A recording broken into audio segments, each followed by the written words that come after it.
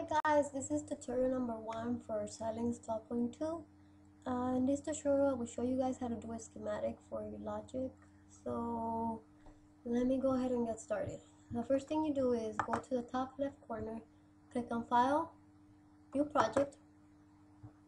Once the, this window opens, you go ahead and name your project. I'm going to name my project hmm, Test. So then after naming it, you choose your location. Uh, my location, I left it as documents, so you guys get to choose where you guys want it. And then click next. Then my board is the Spartan 3E, so my values are these. I am assuming that for most of you, or all of you, you're using the same board as I am, so it is the Spartan 3E as well. So go ahead and leave the values as change them to these values. If you don't have them as that values uh, the bottom part you just leave it as you don't have to change it. Then click next and finish. Okay then go to your top left corner. Click on this. Then right click on it. Choose a new source. To add a new source which will be the schematic. Click on schematic name your schematic. I'm going to name it logic. So that's my logic. And then click next and then finish. Okay. So the first thing I'm going to do just for the purpose of showing you guys uh, my function or my logic is to make a comment. So my function is this right here. I'm going ahead and go zoom in. If you go to the top these tools you can use them to zoom in and other things too. So I'm gonna zoom in. And this is my function. And the next thing I'm going to do is click on symbols on the bottom left corner. Click on symbols. And this will give you the gates that you're allowed to use or more to be more clear on it uh, the gates that Xilinx already has that come with the package of Xilinx so there's different gates like AND gates, OR gates, carry, logic. Uh, you can make your own, but I will show you that in another tutorial, not on this one. So the first thing I need is an AND gate with three inputs. As you can see right here, this is my AND gate with three inputs. So I'm gonna go ahead and type AND and then three for three inputs. And then I need two inverters. So I'm gonna put end. As you get used to it you'll know that how Xilinx labels their, their gates. But it's just you just have to practice with it. And I need another inverter. I need two inverters because I have uh, two knotted gates here. The Y and the Z now I need an OR gate with two inputs.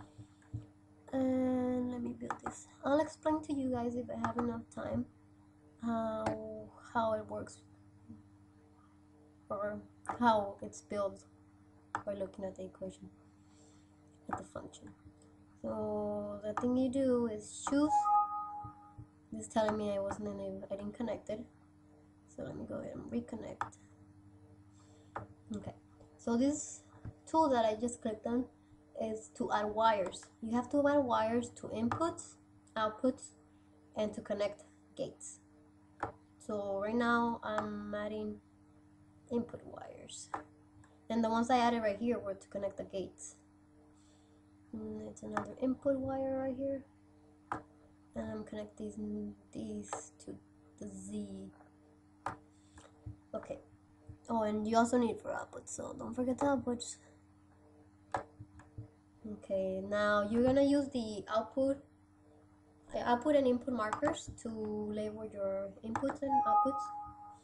It's telling me again I did not click on it. Okay so I'm gonna click on it again. To add them and click on it. So on the this left side they're just for you to choose if you just want to want to put inputs or you just want to put outputs or bidirectionals or automatic will do inputs and outputs. You just have to click on the little red box. Now we're gonna go ahead and choose this tool, which is the select tool. We're gonna double click on it and we're going to choose next to change the name because my inputs are called X, Y, Z. So this is my X input. Click OK. And then click here again. put my Y input, click OK. And again, my Z, my Z input. So then I'll click OK again. And now as you can see, I need my output. My output is the F because it's the function. These are my inputs, my YZ, XYZ. I'm gonna go ahead and click on that, click over here again on the nets, and then click F. And I should do it for the inputs and outputs. So let me explain it to you. These XYZ are these inputs right here. And then you see the X comes in through here. This here is an AND gate because they're all being ANDed. So the X, the Y is being inverted, as you can see with that. The Z comes in through here and is ORed with Z prime.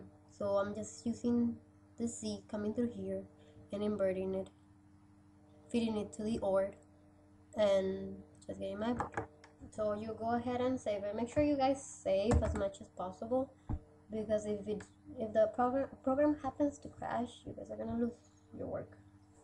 So then after finishing you can you just go ahead click on these arrows to go to the main to the design. And then make sure this that your schematic is highlighted and go ahead and synthesize and it should give you a green check if you guys did it correctly. I'm just showing you guys up here. It takes a while so you guys can well it doesn't take that long but it depends on the circuit or the logic. So as you can see uh, my circuit is correct. Um, that's it for you guys. Thank you guys and good luck